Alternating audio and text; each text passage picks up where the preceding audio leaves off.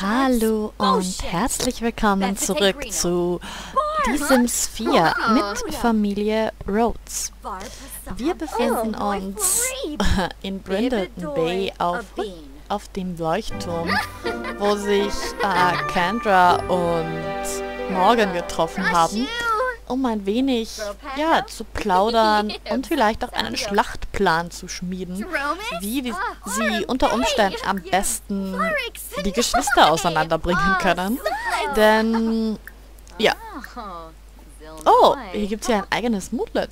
Aussicht vom Leuchtturm, die atemberaubende Aussicht von Brindleton Light hat die Stimmung von Kendra verbessert. Ja, das kann ich verstehen, denn der Leuchtturm ist wirklich richtig toll und Oh, ich finde auch die Insel voll schön, auf der sie gerade sind. So, aber ihr beiden plaudert doch noch ein wenig. Ähm, mehr freundlich. Andere Sims nach anderem Sim fragen. Shibon. So, dass die beiden auch wirklich über sie reden.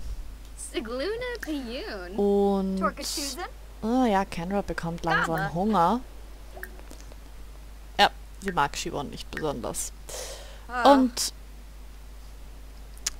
Kendra, was machst du jetzt eigentlich? Willst du einfach nach Hause gehen und deinem Bruder sagen, dass er sich von seiner Freundin trennen soll? Meinst du, das funktioniert? Findest du im Internet was Besseres? Ich schätze, als ob dein Handy schimmeln würde. Vermutlich ist das dann wirklich eine ganz gute Idee? Schreibst du eigentlich SMS? Nein, du spielst ein Spiel. Dass wir nach Hause gehen und sehen, ob sich Jasper von uns überzeugen lässt. Denn es gibt ja die Interaktion, einfach zu fragen, äh, naja, die gemeine Interaktion an ihren Sim darum zu bitten, sich zu trennen. Und, ja, ich gehe nicht davon aus, dass Jasper das machen wird. Aber ich meine, wir können es doch einfach mal versuchen. So, reisen wir nach Hause, äh, ohne Morgen. Die muss ja selbst heim und ihre Schulaufgaben erledigen, etc. Wir haben ja mitten unter der Woche. Und es wird auch langsam etwas spät. Es wird früher dunkel und kalt und Canberra muss ja auch noch die, den Zug erwischen, damit sie nach Hause fahren kann. Und hier sind wir dann auch schon. Äh, du willst Fernsehen. Dann setz dich doch mal zu deinem Bruder sitzen. Der den Kinderkanal schaut. Ach, Jasper. Du wirst gleich wieder meinen, dass dir da viel zu langweilig ist.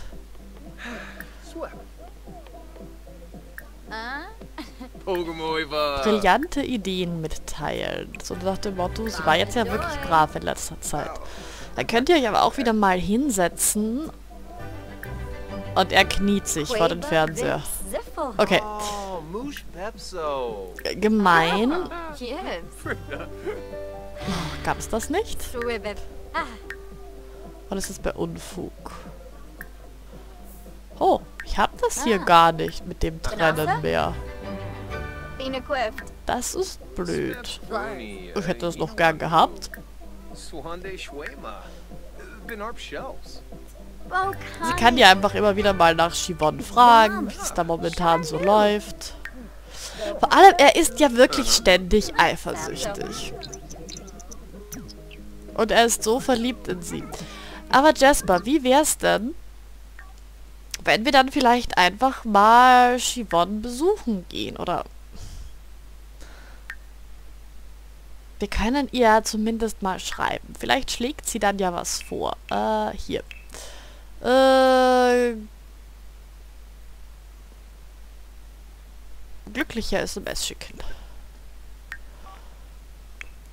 Und du, ja, gehst was essen. Das ist eine gute Idee. Hast ja auch Hunger. Also Jasper. Du bist jetzt selbstsicher, weil du eine unglaubliche SMS geschrieben hast. Ja, ziehen wir los und amüsieren uns im Magnolienblütenpark. Ist das nicht ein bisschen kalt um die Jahreszeit? Naja. Aber wir können ja mal dorthin gehen. Äh, Kendra hat ja jetzt ziemlich viel ähm, so gegen die Gruppe gewettert und so. Und vielleicht macht Jasper sich auch ein paar Vorwürfe und macht sich Sorgen. Das heißt, wir könnten doch einfach mal, äh, ja, zuerst mal gibt es einen Kuss, Knuddeln und Romantik, Kuss hauchen. Und wie wär's denn, Siobhan, wenn du dir was Wärmeres anziehst, wenn wir jetzt hier draußen sind? Äh, wo waren das? Ja, MC Kommode, Outfit wechseln. Hier. Das sieht deutlich wärmer aus. So. Äh, können wir nach anderen Sim fragen? Vielleicht so eben nach den Gruppenmitgliedern. Weiß nicht, ob wir die alle kennen. Uh, ah, man kann nur noch Sims fragen, die man selbst kennt. Wir kennen ihre Gruppenmitglieder leider nicht. Hm, schade. So. Dann eben nicht. Da über Liebesleben beschweren passt ja eigentlich nicht ganz. Freundlich. Bewunderung ausdrücken. Und... Ui, ist das so eine Möchtegern-Eiskönigin?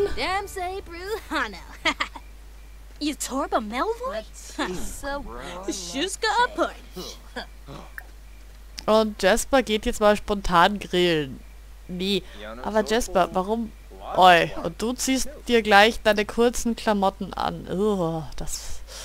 Das könnte etwas kalt werden. Aber der Magnolienblütenpark hier ist wirklich schön. So richtig weihnachtlich. Da könnte man so einen tollen Weihnachtsmarkt bauen. Die sind ja momentan sehr... Ich war schon auch auf einigen. Glühwein trinken ist immer gut. Jo. Oh, oh, oh. Das ist doch... Nein, ist er nicht. Das ist nicht Leonardo. Das ist einer von den Neuen. Ähm... Ja, es ist schade, dass es keine Interaktion wie Spazieren gehen und so weiter gibt. Aber ihr könntet doch mal... Ja, du könntest sie auf eine Konstellation hinweisen. Und dann nochmal deine Unsicherheit mitteilen. Das ist ja sogar ein Wunsch von dir. Freundlich. Es ist ja auch wichtig, dass du darüber sprichst. Denn du bist ja auch eifersüchtig. Und das könnte euch beiden dann ja helfen. Oh, du bist süß. Oh. so, so. Mach dann einen Polizistenwitz, rede über die letzte Party, ja, tanzen gehen. Party machen und tanzen gehen, das könnten wir auch wieder mal machen.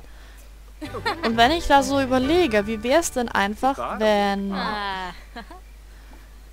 Jasper jetzt dann auf eine Gruppenversammlung geht? Siobhan kriegt ja sowieso auch gleich hat ihr sowieso auch gerade eine SMS bekommen, dass sie vielleicht weg muss, weil irgendwas Wichtiges ansteht. Und aus dem Grund geht Jasper einfach wieder mal tanzen. Er ist ja ein tanzwütiger Sim und ich glaube, das könnte ihm vielleicht auch bei seiner Eifersucht ein bisschen weiterhelfen. Wenn er abgelenkt ist, vielleicht, wenn er auch ein bisschen mit Shivans Vater spricht. So, äh, so nach dem Motto, ob Shivan jetzt oft unterschiedliche Leute datet und so weiter. Und ja. Dann gehen wir doch mal alle hier hin und tanzen zusammen. Und haben Spaß. Ja. Also, ah, mit Joaquin haben wir auch schon lange nichts mehr gemacht. Der ist auch top angezogen. Und Jasper. Genießt du es, wieder mal auf der Tanzfläche zu sein? Dann kannst du nicht ein Party-Outfit? Da. Dann zieh doch mal das an. Oi, wer ist denn das? Ja, da trägt jemand ganz verwirrt Custom Content. Oh, oh, oh, oh, und das ist Liberty. Aber Liberty, nein.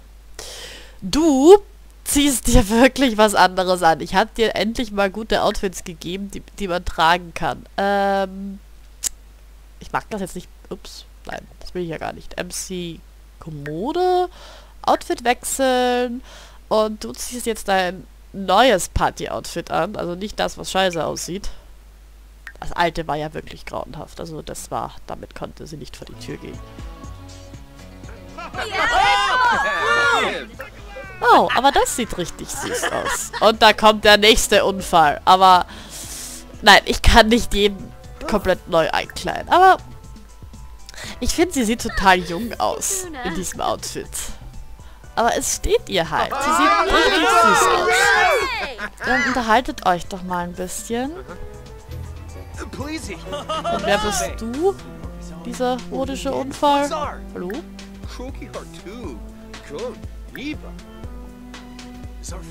Ja.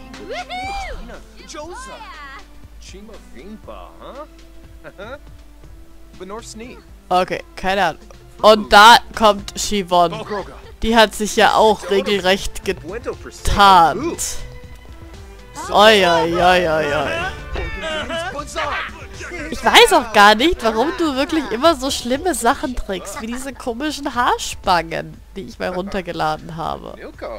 Und du bist die Crazy Cat Lady, oder? Das Spiel hängt momentan auch ein bisschen, dass mir gar nicht angezeigt wird, wer die Leute hier sind.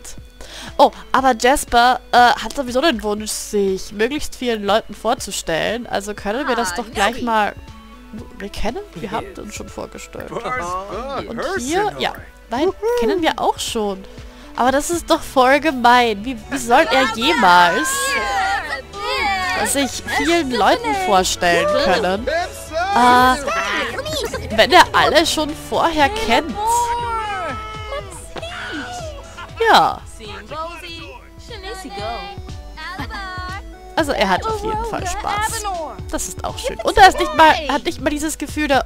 Oh, Eifersuchtsanfall. Oi. Oi, oi, oi, oi, oi. Auf diesen Eifersuchtsanfall bauen wir jetzt mal auf. Ich habe zwar nicht äh, mitbekommen, was es ist. Und ich weiß, Eifersuchtsanfälle werden oft wirklich sinnlos ausgelöst. Aber ich würde sagen, Jasper streitet...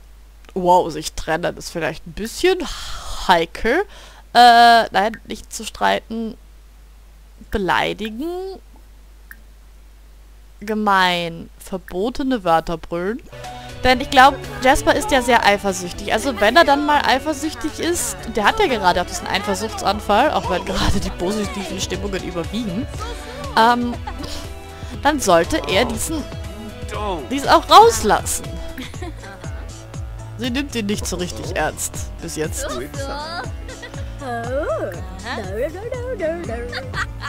Und was will die hier? Kim Müller. Kennen wir anscheinend auch. Und die lässt ihn nicht mal zu Shivon durch? Dann beleidigen wir die doch auch mal. Gemein. Weggehen. Verschwinde. Wenn du nicht zulässt, dass wir mit unserer Freundin reden.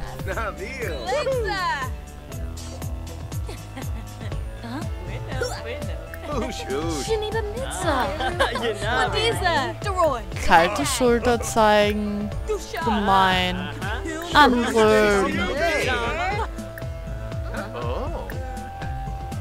Beleidigen. Funktioniert das?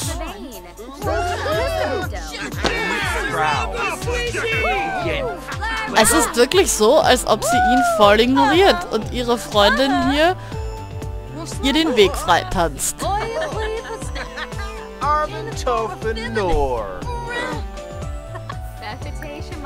Hey, Shibon, könntest du uns bitte mal Aufmerksamkeit schenken?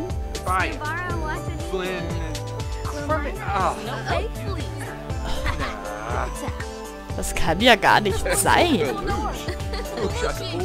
Also es ist wirklich so, sie tanzt total happy im Prinzip weiter.